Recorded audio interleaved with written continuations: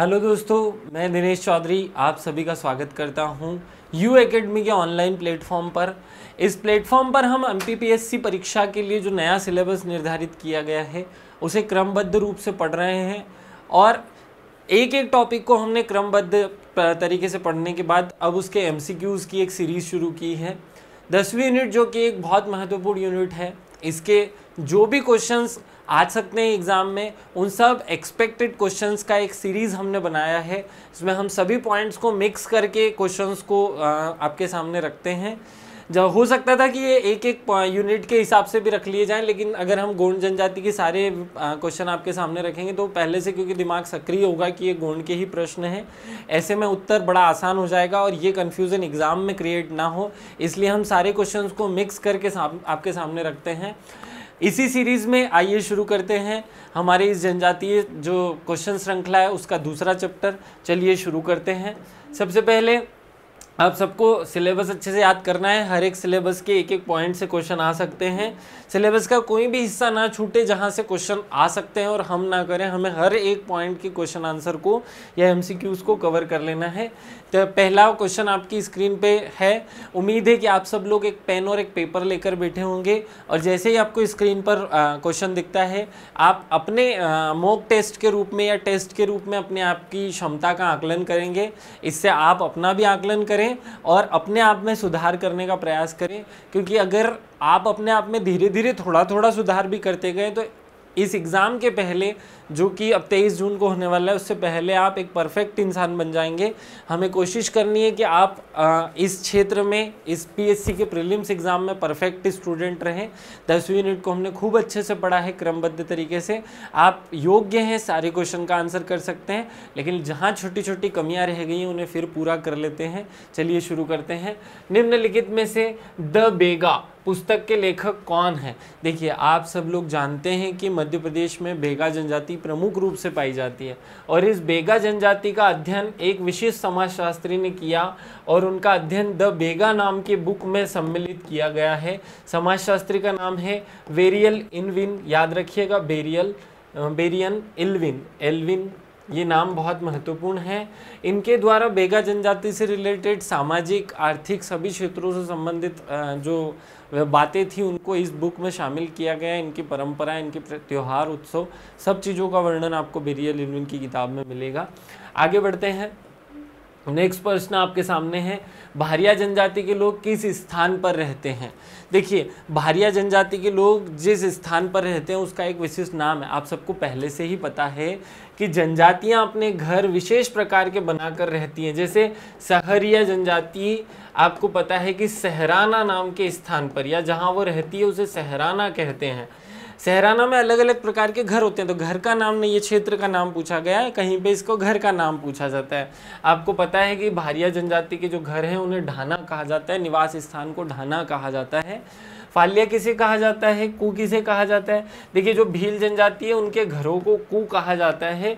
उनकी गली मोहल्ले को या उनके जो क्षेत्र हैं, उन्हें फालिया कहा जाता है और भीलों के गाँव को पाल कहा जाता है। ये तीनों ही शब्द आपको याद रखने हैं, कु, फालिया और पाल। बसाहट सामान्यतः हमारे मध्य प्रदेश में कोरकू जनजाति के कुछ क्षेत्रों को कही, कहा जाता है। आपको चारों ही ऑप्शन को याद रखना है। इस क्वेश्चन का आंसर सही डी ए होगा, ढाना। आगे बढ़ते हैं नेक्स्ट प्रश्न पे चलते हैं। मध्य प्रदेश में कितनी जनजातियों को पिछड़ी जनजाति के रूप में अधिसूचित किया गया है? आप सब जानते हैं कि भारत सरकार ने ऐसी जनजातियाँ जिनका मूलभूत विकास भी अभी नहीं हुआ जो जनजातियों में भी अति पिछड़े हैं, उनको पिछड़ी जनजाति का दर्जा दिया है। और इस पिछड़ी जनजाति के दर्जे की जो व्यवस्था है वो आप सबको पता है कि 1973 से डेबर आयोग की सिफारिश के बाद पर आधार पर 1976 में शुरू हुई थी। हमारे मध्य प्रदेश में जो जनजातियाँ हैं, उनकी कुल संख्या 46 है और उसमें से तीन जनजातियों को 2003 में हटा दिया गया था। इस कारण से जनजातियों की संख्या 43 बचती है और इनमें से भी तीन जनजाति को अति विशिष्ट पिछड़ी, अति विशिष्ट या अति पिछड़ी जनजाति के रूप में मान्यता दी गई है। और वो तीन जनजाति कौन सी हैं? आप सबको पता है, बेगा, भारिया और सहरिया। ये तीन जनजाति हैं जिन्हें हमारे मध्य प्रदेश में पिछड़ी जनजाति के रूप में नामित किया गया है। इसका आंसर तीन होगा, बी इसका सही आंसर है। आगे बढ़ते हैं। नेक्स्ट क्वेश्चन आपके स्क्रीन पे है। निम्नलिखित में से कौन सी जनजाति स्वयं को रावण का वंशज मानती है? आपने अगर हमारे वीडियो श्रृंखला को बहुत अच्छे से फॉलो किया है तो उसमें हमने एक स्थान पर एक जनजाति को पढ़ाते हुए आपको बताया कि रावण श्रीलंका का निवासी जो कि मध्य प्रदेश में सतपुड़ा और विंध्यांचल पर्वत को घूमने आया था। उसने सतपुड़ा के जो क्षेत्र थे, घने जंगल, उनको देख करके ये स्थिति, ये अपने आप में आश्चर्य किया कि इतनी अच्छी सुंदर जगह पर कोई मानव क्यों नहीं रहता है। उसने भगवान महादेव को प्रसन्न किया और भगवान महादेव से वर मांगा कि इस स्थान पर किसी प्रमुख जनजाति को बसाया जाए। और उसकी बाद हमने एक स्टोरी के रूप में इसे सुना। उसकी ही कृपा से एक विशेष प्रकार के व्यक्ति, मूला और मुलाई। मूला और मुलाई को जो कि भगवान द्वारा बनाए गए थे, इन्हीं के वंशज के रूप में कोरकू जनजाति का जन्म हुआ।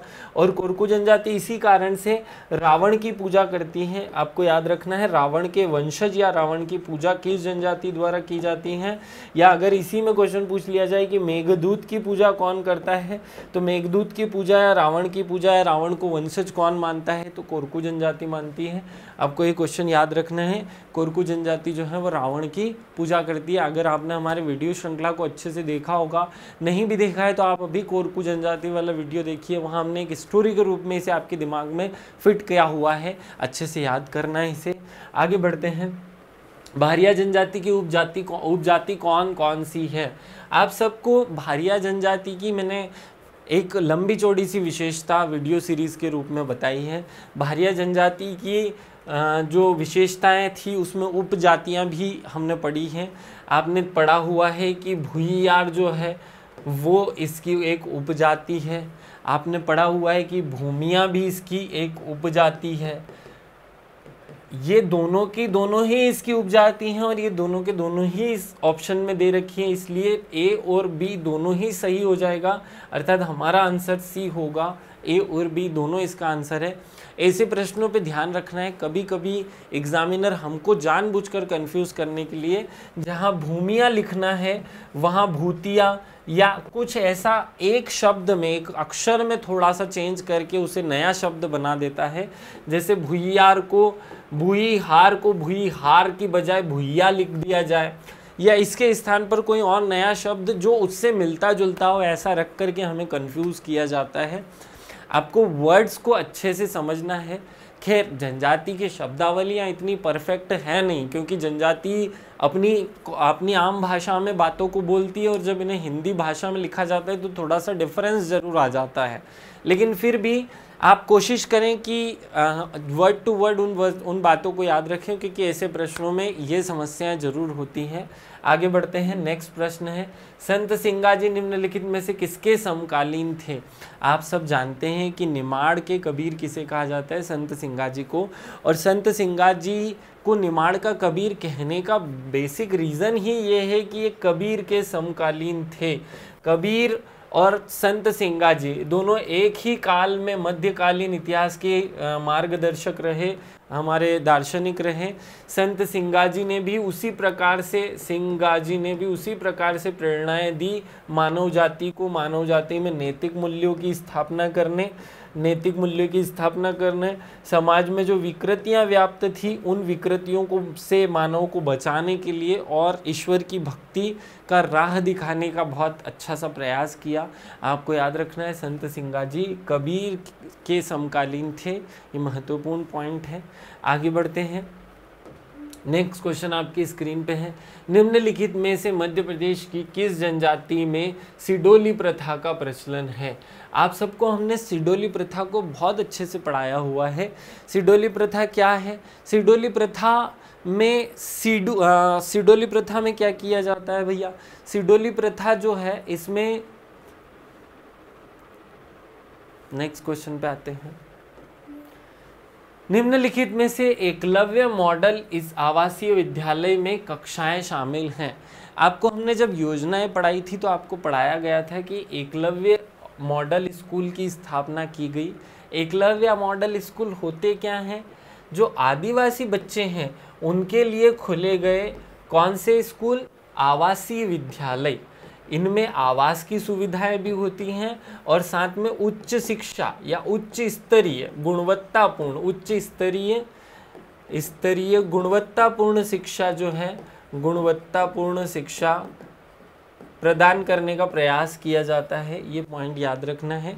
तो जो एकलव्य मॉडल स्कूल हैं, ये जवाहर जवाहरलाल नवोदय विद्यालय के समान ही हैं। जिस प्रकार जवाहरलाल नवोदय विद्यालय जो हैं वो सभी बच्चों के लिए होते हैं। अगर उन्हीं के स्वरूप को केवल अनु आदिवासी बच्चों के लिए ओपन कर दिया जाए तो वो एकलव्य आवासीय विद्यालय कहलाएँगे। ये हम, हम आपको इसलिए बता रहे हैं ताकि आपको ये चीज़ें आसानी से याद हो जाएँ और ये कक्षा छठी से लेकर बारहवीं तक के लिए खोले जाते हैं। ये महत्वपूर्ण पॉइंट है आपको याद रखना है। आगे बढ़ते हैं नेक्स्ट क्वेश्चन पे आते हैं। निम्नलिखित में से मध्य प्रदेश के, मध्य प्रदेश में निवास करने वाली कोरकू जनजाति सावन मास की हरियाली अमावस्या को कौन सा पर्व मनाती है? देखिए, हरियाली अमावस्या को आप सब जानते हैं कि कौन सा पर्व मनाया जाता है। हर एक जनजाति यही पर्व मनाती है। हमने आपको दो जो है विशेष त्यौहार बताए थे, बीदरी और नवाखानी। बस उसी के सिमिलर जिरोती नाम का त्यौहार है, जब बच्चे घर घर जा कर के जो है, वो जिरोती मांगते हैं। बच्चे इसमें साधु का वेश धारण करते हैं, हरियाली अमावस्या के दिन। और सबके घर से कुछ अनाज इकट्ठा करके त्यौहार के रूप में मनाया जाता है, जिसे जिरोती कहा जाता है। अब याद रखेंगे, हरियाली अमावस्या को जिरोती का त्यौहार मनाया जाता है। जिरोती त्यौहार के नाम से जाना जाता है। आगे बढ़ते हैं। नेक्स्ट क्वेश्चन आपके स्क्रीन पे है। निम्नलिखित में से बूढ़ा देव मध्य प्रदेश की किस जनजाति के प्रमुख देवता हैं? देखिए, बूढ़ादेव जो हैं, वो एक ऐसे देवता हैं जिन्हें अधिकांश जनजातियों द्वारा अपने देवता के रूप में पूजा जाता है। बूढ़ा देव की पूजा जो है, वो सामान्यतः बेगा जनजाति द्वारा की जाती है या बेगा देव जो है, बूढ़ा देव जो है, वो बेगा जनजाति से संबंधित है। खैर, ये अन्य जनजातियों में भी पूछे जाते हैं, लेकिन यहाँ प्रश्न पूछा जा पूछा जा रहा है कि मध्य प्रदेश की किस जनजाति के देवता है, प्रमुख देवता है? तो यहाँ क्वेश्चन प्रमुख देवता जब पूछा गया है, तब आपको आंसर बेगा जनजाति करना है। वैसे अगर यहाँ गोंड ऑप्शन होता तो फिर स्थिति गड़बड़ हो जाती क्योंकि गोंड जनजाति भी इन देवताओं को अपने देवता के रूप में स्वीकार करती है। लेकिन क्योंकि गोंड और भेगा की विशेषताएँ एक समान है कन्फ्यूज़ नहीं होना है इससे आपको बे बूढ़ा देव जो है वो बेगा जनजाति के प्रमुख देवता है। आगे बढ़ते हैं नेक्स्ट क्वेश्चन है। निम्नलिखित में से खाज्या नायक का जन्म कहाँ हुआ? निम्नलिखित में से किस स्थान पर खाज्या नायक का जन्म हुआ? सिंपल सा प्रश्न है। खाज्या नायक आप जानते हैं कि जनजातियों के गौरव कहे जाते हैं। जनजातियों में बहुत प्रसिद्ध व्यक्तित्व रहे उन्होंने स्वतंत्रता आंदोलन में भाग लिया। और ये जो खाज्या नायक हैं, ये एक ऐसे जनजाति व्यक्तित्व रहे जिन्होंने जनजातियों को स्वतंत्रता आंदोलन में शामिल किया और जनजातियों की, को नेतृत्व प्रदान करके उनकी महत्वपूर्ण भूमिका निभाई। इनका जन्म हमें, हमसे पूछा गया है। देखो, ऐसे समय प्रश्न हमसे तीन प्रकार के पूछे जा सकते हैं। एक इनका जन्म कहाँ हुआ, एक इन्होंने कहाँ पर नेतृत्व प्रदान किया और एक यहाँ इनको कहाँ फांसी दी गई। तो ऐसे तीनों ही प्रश्न आपको कंप्लीट कर लेने हैं। आप सबको पता हो कि सांगली ग्राम में इनका जन्म हुआ था। निम्नलिखित में से खाज्या नायक का जन्म सांगली ग्राम में हुआ, याद रखिएगा। आगे बढ़ते हैं। नेक्स्ट क्वेश्चन है, निम्नलिखित में से भारत का पहला जनजातीय विश्वविद्यालय कहाँ पर है? देखिए, जनजाति विश्वविद्यालय क्या है? 2008 में 2007 के अधिनियम के माध्यम से, ये भी याद रखिएगा, अधिनियम के माध्यम से 2008 में हमारे मध्य प्रदेश के अमरकंठक, जो कि अनूपपुर तहसील में, अमरकंठक जो कि अनूपपुर तहसील में है, सॉरी, अनूपपुर ज़िले में है तो अमरकंठक में एक ऐसा विशेष विश्वविद्यालय की स्थापना की गई, एक विशेष विश्वविद्यालय स्थापित किया गया। इस विशेष विश्वविद्यालय का नाम ही हमारे द्वारा रखा गया है, आदिवासी विश्वविद्यालय या जनजातीय विश्वविद्यालय, और ये जनजातीय विश्वविद्यालय कहाँ पड़ता है? ये पड़ता है अमरकंठक में। आंसर होगा ए, ऑप्शन आपको याद रखना है। आगे बढ़ते हैं। नेक्स्ट क्वेश्चन आपकी स्क्रीन पे है। निम्नलिखित में से चटकोरा किस जनजाति का नृत्य है? देखिए, चटकोरा एक विशेष प्रकार का नृत्य है। चटकोरा शब्द को याद कैसे करें? ये हो सकता है कि ऐसे प्रश्न अलग अलग जनजातियों के नृत्य आपको अत्यधिक कंफ्यूज करते हों। तो इनका कन्फ्यूज़न ख़त्म करने के लिए मैं आपको एक साधन बता देता हूँ। मैंने इसे कैसे याद किया हुआ है? देखिए, हम जब कुछ खाते हैं, जो चटोरे लोग होते हैं, वो दिन भर कुछ ना कुछ खाते रहते हैं। तो चटकोरे को हमने चटोरा कर लिया। तो जो चटोरे लोग हैं, वो दिन भर खाते रहते हैं और वो खाते बहुत तेज़ी से हैं ताकि उनको ज़्यादा खाना मिले। और जब कोई आदमी तेज़ी से खाना खाता है तो मुँह से कुर कुर की आवाज़ आती है। कैसी आवाज़ आती है? कुर कुर की आवाज़ आती है तो इससे आपको कनेक्ट हो जाएगा। चटकोरा अब आप कभी नहीं भूलेंगे। तो चटकोरा जो नृत्य है, वो कोरकू जनजाति का प्रमुख नृत्य है, आपको ये याद रखना है। इसका आंसर जो है, वो सी होगा, कोरकू जनजाति। आगे बढ़ते हैं नेक्स्ट प्रश्न आपकी स्क्रीन पे है। निम्नलिखित में से मध्य प्रदेश मुख्यमंत्री दुधारू पशु प्रदाय योजना कब शुरू की गई? हमारे मध्य प्रदेश में तीन जो पिछड़ी जनजाति है, तीन पिछड़ी जनजाति। कौन कौन सी हैं? बेगा, भारिया और सहरिया। इन तीन जनजातियों को फोकस करते हुए, इन तीन जनजातियों के लिए एक एक पशु या पशु का जोड़ा देने के लिए एक योजना शुरू में बनाई गई और इस योजना का शुरुआती लक्ष्य केवल गाय प्रदान करना था। बाद में इसका नाम बदल करके हमने क्या कर दिया था? नाम बदल करके बाद में कर दिया गया गाय की स्थान पर दुधारू पशु। तो दुधारू पशु पहले गाय के नाम से जाने जाते थे। मुख्यमंत्री गाय प्रदाय योजना कहलाती थी। बाद में नाम चेंज किया गया। मुख्यमंत्री दुधारू पशु योजना। इस योजना का उद्देश्य आपको समझ में आ गया। ये योजना हमारे मध्य प्रदेश में आ, 2017 में 31 मार्च 2017 को शुरू की गई थी। याद रखिएगा 31 मार्च 2017 को शुरू हुई मुख्यमंत्री दुधारू पशु योजना। आगे बढ़ते हैं। नेक्स्ट प्रश्न आपकी स्क्रीन पे है। लमसेना विवाह किस जनजाति किस जनजाति की प्रथा है? देखिए, आप सब लोगों को मैं ये जनजातियों के विवाह वाले चैप्टर्स को अच्छे से पढ़ा चुका हूँ।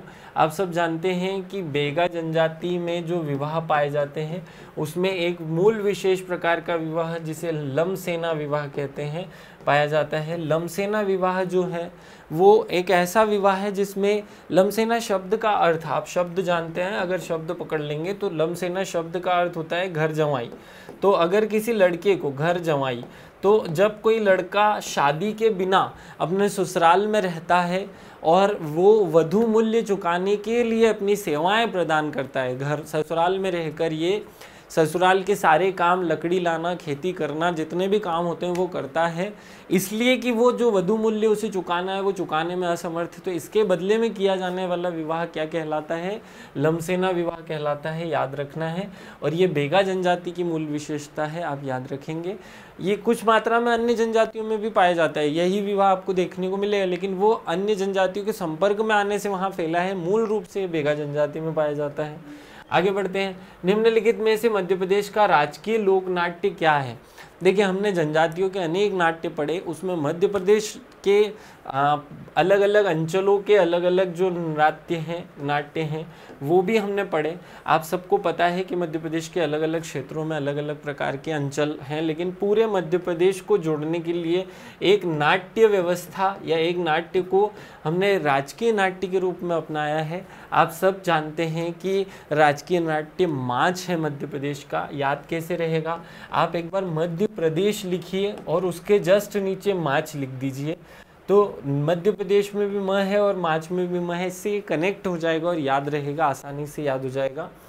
आगे बढ़ते हैं। निम्नलिखित में से भीमा नायक का जन्म किस स्थान पर हुआ? ऐसे प्रश्नों में मैं आपको पहले ही बता चुका हूँ। तीन प्रकार के महत्वपूर्ण जो है पॉइंट आपसे पूछे जा सकते हैं। कौन से महत्वपूर्ण पॉइंट कि भैया इनका जन्म कहाँ हुआ? इन्होंने किस स्थान पर अंग्रेज़ों का सामना किया या अंग्रेज़ों से आंदोलन लड़ा या किस स्थान पर जनजातियों को नेतृत्व प्रदान किया? और तीसरा, इनकी समाधि या इनकी, इनको फांसी कहाँ दी गई? ऐसा एक प्रश्न बन सकता है। भीमा नायक आपको महत्वपूर्ण जो है, जनजाति व्यक्तित्व हैं, खंडवा का इन्हें रॉबिनहुड कहा जाता था, याद रखिएगा। तो भीमा नायक जो हैं, उनका जन्म कहाँ हुआ, ये प्रश्न आपसे पूछा गया है। आपको याद होना चाहिए भीमा नायक जो हैं, वो बड़वानी के रहने वाले थे या बड़वानी में इनका जन्म हुआ। बड़वानी में जन्म लेने के बाद इन्होंने जो मध्य इंदौर खंडवा रोड है सेंधवा बॉर्डर वाला क्षेत्र है वहाँ जनजातियों को नेतृत्व प्रदान किया। आगे बढ़ते हैं नेक्स्ट प्रश्न पे आते हैं। निम्नलिखित में से कोरकू जनजाति सीडू या दारू बनाती है। देखिए जनजातियों में जो आ, मादक द्रव्य व्यसन है उसकी एक सामान्य समस्या पाई जाती है। सभी सभी जनजातियों में मादक द्रव्य व्यसन की समस्या है। ये जो सीडू या दारू इन जनजातियों में बनाई जाती हैं, वो किसी विशेष चीज़ों से बनाई जाती हैं। को याद रखना है कि सामान्यतः जो दारू बनाई जाती है कोरकू जनजाति द्वारा वो किस पदार्थ की बनती है? वो महुए की बनती है।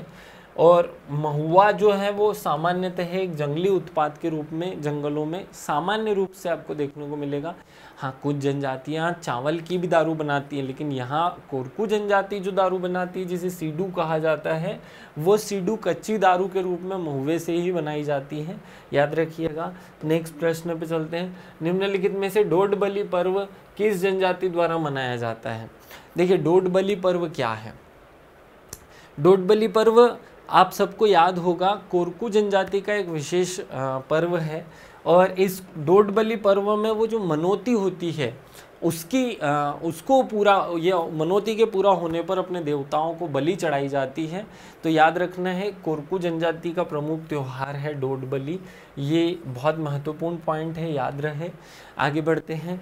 नेक्स्ट प्रश्न आपकी स्क्रीन पे है निम्नलिखित में से दादरिया नृत्य किस आ, किसका है?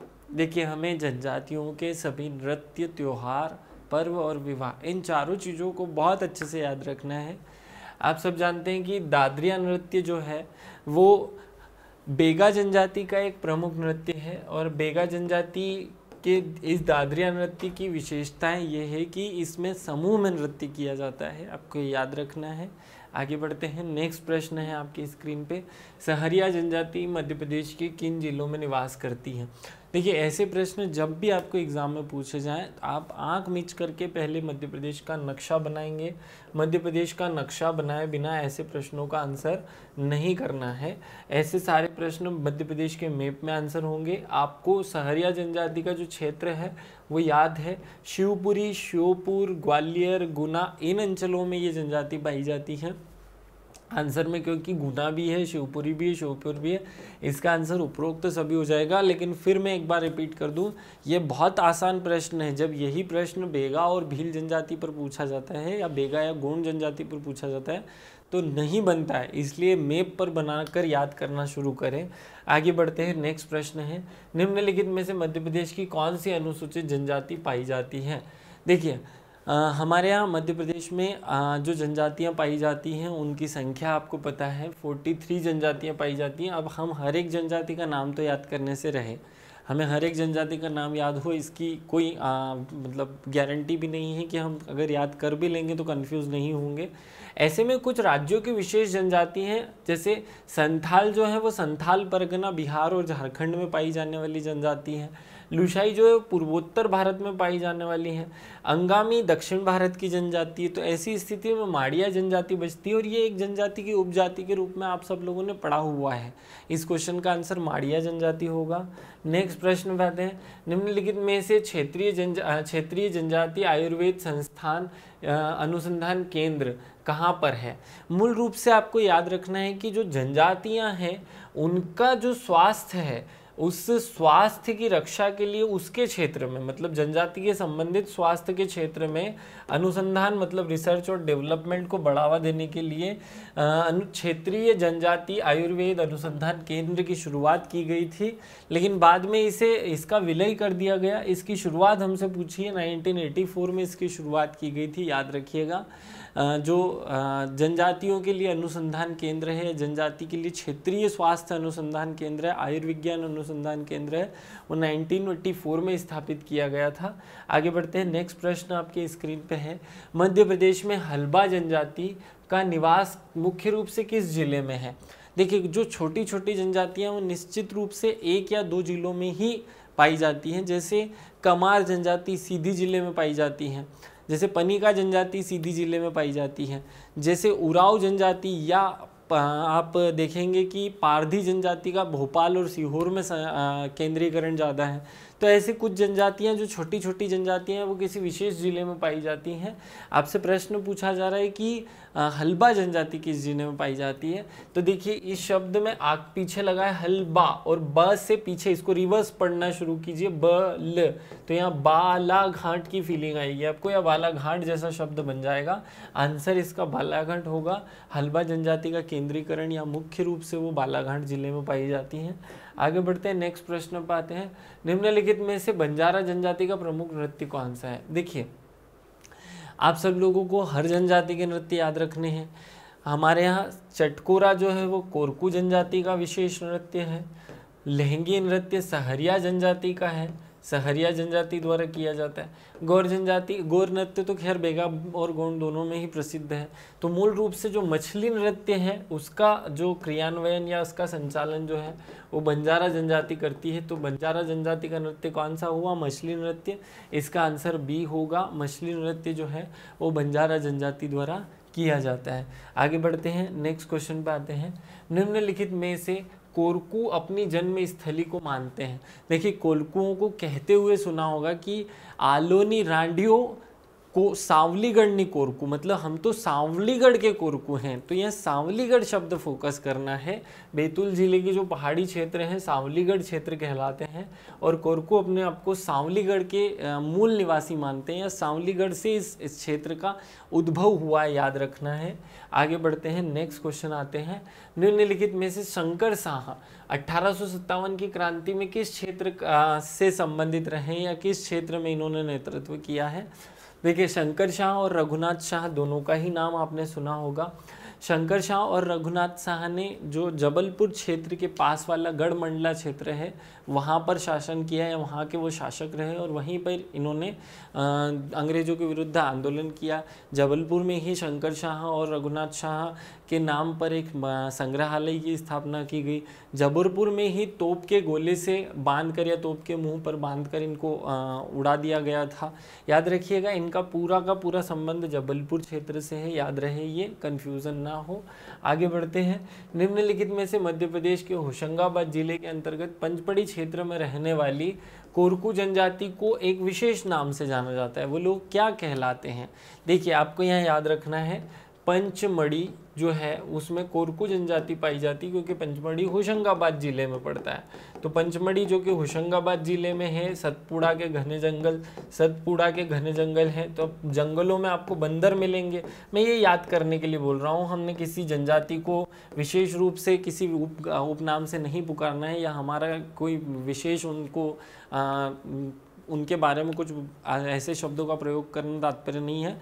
मैं एक शिक्षक हूँ और मेरा उद्देश्य केवल और केवल मेरी बातों का उद्देश्य, मेरे कार्यों का उद्देश्य केवल और केवल छात्रों को शिक्षा देना, छात्रों को पढ़ाना है तो जो बंदोरिया जनजाति बंदोरिया जो शब्द है, वो इनके लिए उपयोग किया जाता है। जो पंचमढ़ी के कोल कोरकू जनजाति के लोग हैं, उनको बंदोरिया कहा जाता है, याद रखना है। आगे बढ़ते हैं। नेक्स्ट प्रश्न पर आते हैं। निम्नलिखित में से पंचधारा योजना के अंतर्गत कौन कौन सी योजनाएँ शामिल हैं? आप सब जानते हैं कि पंचधारा, शब्द से ही पाँच धाराएँ निकल रही हैं शब्द में ही पाँच धाराएँ निकल रही उसमें से तीन धाराएँ, इसके मतलब इसके अंदर ज़्यादा योजनाएँ होंगी, इसके अंदर योजनाएँ शामिल होगी। ऐसे समय पर सामान्यतः ये सभी वाले ऑप्शन ही सही होते हैं, क्योंकि इसमें आयुष्मती योजना भी शामिल है, सामाजिक पेंशन भी शामिल है, कल्पवृक्ष भी शामिल है, सारी योजनाएँ इसमें शामिल है और इसका आंसर फिर ये सभी हो जाएगा। आपको याद रखना है, ऐसे प्रश्नों में ये सभी ज़्यादा आंसर होता है या ये सभी के सभी ऑप्शन उसमें शामिल ले लिए जाते हैं। आगे बढ़ते हैं नेक्स्ट प्रश्न पर। निम्नलिखित में से मुंडारी किस जनजाति की भाषा है? देखिए, हमारे मध्य प्रदेश में अलग अलग जनजातियाँ अलग अलग भाषा बोलती है। भील, भीली भाषा बोलते हैं। कोरकू कोरकू भाषा बोलते हैं।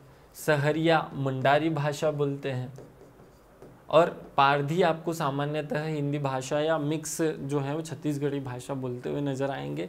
आपको याद रखना है, इस क्वेश्चन का आंसर सहरिया होगा। सहरिया जो है वो मुंडारी भाषा का प्रयोग करते हैं या मुंडारी भाषा शहरिया जनजाति द्वारा बोली जाती है। आगे बढ़ते हैं नेक्स्ट प्रश्न है।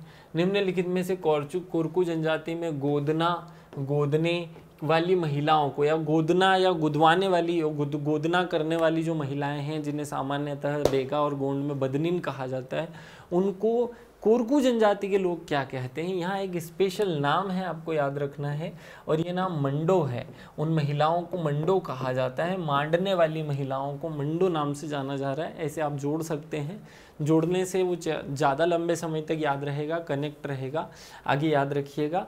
आगे बढ़ते हैं नेक्स्ट प्रश्न है। निम्नलिखित में से बेगा जनजाति में कौन सी देवी को वन देवी कहा जाता है? वन देवी कौन है? देखिए, वन की देवी जहाँ पर जनजाति, देखिए, आप सब जानते हैं कि जनजातियों का ज़्यादातर जो दैनिक कार्य है वो जंगलों में बीतता है जंगलों पर उनकी निर्भरता अत्यधिक होती है। इसीलिए वन देवी की पूजा की जाती है। आपको याद रखना है, जो बंजारिन माई है, वो जनजा, बेगा जनजाति में बंजारिन माई जो है, वो बेगा वन देवी के रूप में पूजी जाती है। ये प्रश्न आपको अच्छे से याद रहे। बंजारिन माई वन देवी के रूप में पूजी जाती है। अगले प्रश्न पर चलते हैं। निम्नलिखित में से कठपुतली लोक नाट्य का प्रचलन मध्य प्रदेश के किस अंचल में है? आप सब जानते हैं कि मध्य प्रदेश के अलग अलग अंचलों में अलग अलग नाट्य व्यवस्था चलती है और साथ में जनजातियों के भी नृत्य या नाट्य जो है वो अपने अपने अंचलों में प्रसिद्ध हैं। तो हमें दोनों चीज़ें याद रखनी है। एक लोक अर्थात जो क्षेत्रीय चीज़ें हैं, उनको भी याद रखना है और जो जनजातीय जो परंपराएँ हैं, जो जनजातीय नृत्य हैं, उन्हें भी याद रखना है।